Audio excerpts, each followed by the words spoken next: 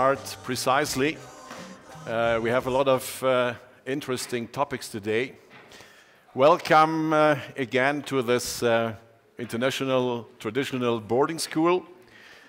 You know the, the motto of the school, uh, mens sana in corpore sano. This means we have to look for good snow conditions to get the best sessions we can have. And I think the surrounding may be really uh, very good this year. When we started this meeting 16 years ago, we did not dare to hope that we got so many support and so many sympathy.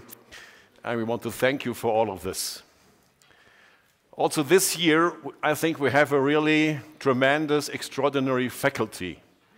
And uh, Maciej Kwiatkowski and me and Tulio really want to thank you for coming to give us the opportunity to discuss pitfalls and other, and other things who are really uh, very, very important.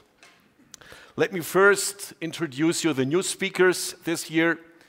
Sigrid Carlson, uh, she's welcome. Michael Heckmann, Lukas Manka, Theodor van der Kwast, Niklaus Schäfer, Michael Stöckle, and Stephen Stone. They are cordially welcome, and uh, I hope it's not the first and the last time they are here. So, a lot of you have the platinum medal, which means they have been uh, eight times here. So it is Peter Hammerer, Jonas, Christoph Iselin, and Alexandre Slotta. This is the hardcore of this meeting, and I, I hope they persist in this. I totally regret I have also a sad news. This means that my former chief, Reto Scholl, has passed away last year. It was a great chief, and we have learned a lot of interesting things. He taught us to have analytical thinking. He taught us to have um, really uh, curiosity in science. And I will never forget the, the surgical procedures with him. Making radical prostatectomy with Reto, this means we were looking in every detail how it was made in Hamburg, in Mainz, in Memorial Sloan Kettering, in Indianapolis. It was really a fascinating discussion with him. And he, he taught us really to be uh, responsible, self criticism, and so on. He supported and initiated this meeting here in With, and I please you to stand up for and to give him his last respect.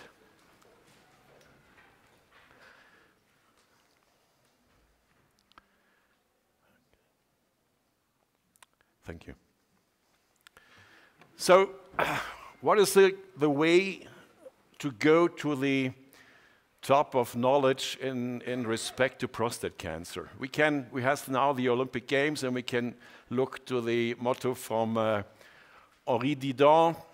He did it in 1924. Citius, Altius, Fortius, faster, higher, and stronger. But I think this describes only the performance. When we're going back longer years ago, we are, we are coming to Virgil, an ancient Latin poet who described Felix qui potuit rerum cognoscere causas, which means the man or the guy is happy who is really going to the bottom of knowledge, who is looking for this.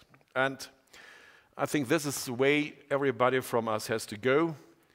We remember also the Hippocrates Oath, and this describes the dilemma we have in our days.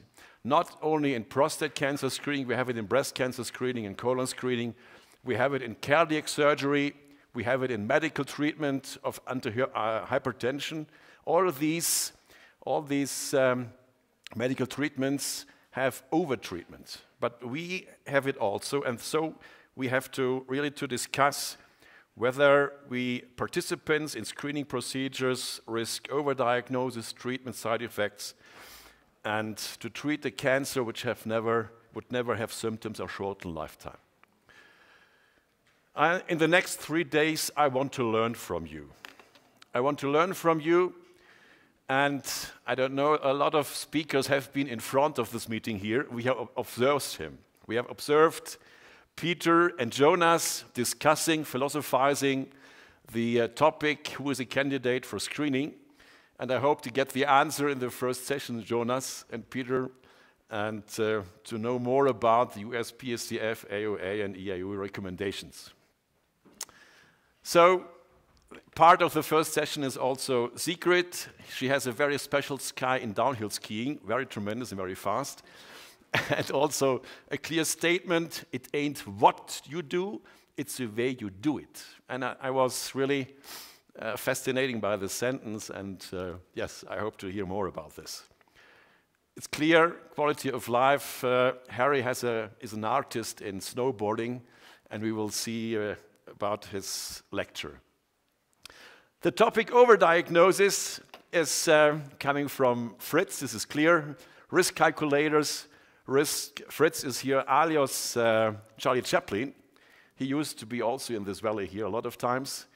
And uh, juggling with this key, I think you juggle with your risk calculators, and I'm looking forward to this. Whereas Hans, he knows, I think, everything because he has the Malmö project, and he's standing behind, and yes, will also talk us about this.